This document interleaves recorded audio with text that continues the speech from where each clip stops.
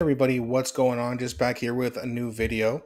Um, so today i have something where pierre Poilievre, it looks like his um, his uh, media team created another ad just absolutely destroying mark carney who just joined the liberal party. Uh, now before i do get into that i just want to please uh, remind you to subscribe and like this video and the channel. Uh, it does really help me uh, grow as well as um, it does help with the um, engagement the youtube algorithm really seems to like that so it helps push out the videos as well um, and also please don't forget to comment because i do enjoy the uh, the channel engagement as well so let's get into this quick video here it's just a minute long but it is it is pretty funny. It's look, it's an exciting time. It is an exciting time for Canada.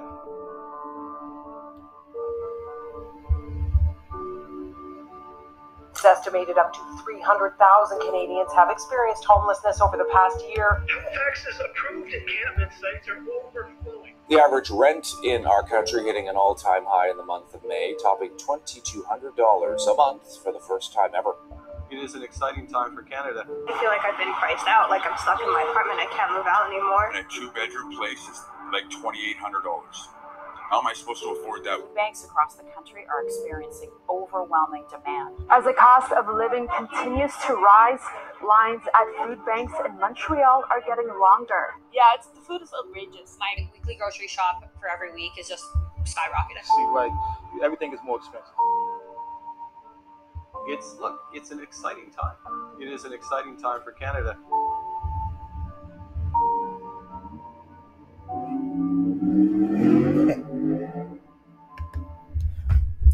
Yeah, and I mean, it's kind of been said a lot, but when Mark Carney comes in and says it's, it's an exciting time for Canada, it's just like Melanie Joly and Justin Trudeau and Chrystia Freeland saying, oh, Can- Canadians don't want an election. Canadians are happy and they're excited about the Liberal Party. And then you look at the polls and you see the Conservatives at like 45%, and it's like, uh, obviously, Canadians aren't very happy. Now, what's also crazy about this is you see a lot of those people at the food banks. As much as I do have sympathy for those people, people who live in big cities mostly vote for liberal. And that's why I say that liberal, liberal ideology isn't even um, ideology anymore. Sorry about that. One second. It's not liberal ideology anymore. It's basically just a virus. Like, how could you possibly need to go to a food bank when you're working full time just to get food and then go to the ballot box and vote for the liberal candidate. It makes no sense. But that's what brainwashing looks like, and that's what hap- that's what's happening to all these liberals. Conservatives sometimes too, but I mean, you just see all this nonsense about, oh yeah, no, I I love Justin Trudeau.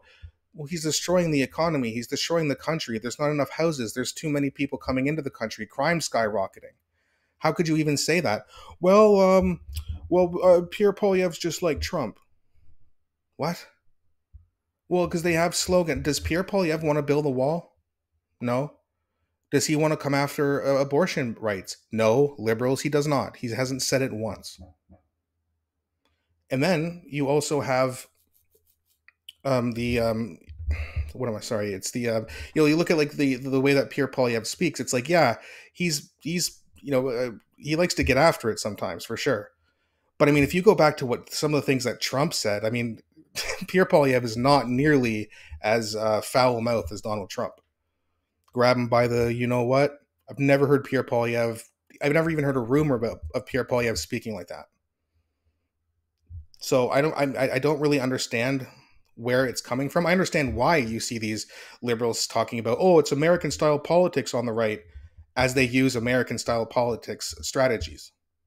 Look at what Justin Trudeau and Kamala Harris are saying. It's very, very similar, isn't it? Everyone on the right's from Russia and their Russian assets, yada, yada, yada, just before a major election.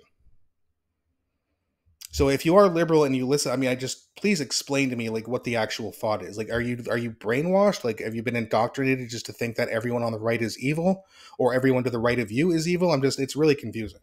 It makes no sense to me whatsoever.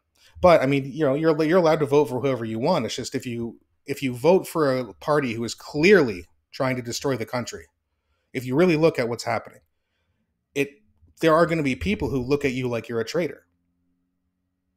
I don't know if I'd go that far, but I understand where they're coming from because it's like they, they see you going to the ballot box, voting for a guy who is making things unaffordable, He's not talking at all about the the, the chemicals and all this crap in our food. Now, to be fair, Pierre Poilievre isn't either, which is why I personally don't think he's actually a great candidate. I think he's better than Trudeau, so I'm going to vote for him.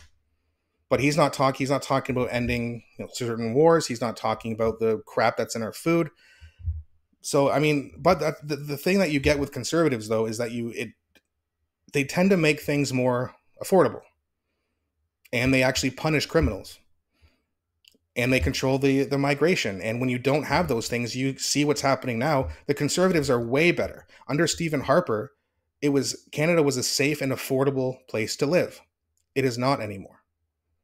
So yeah we do need someone to be fiscally conservative and that's really the biggest reason that pierre poilievre is is ahead right now.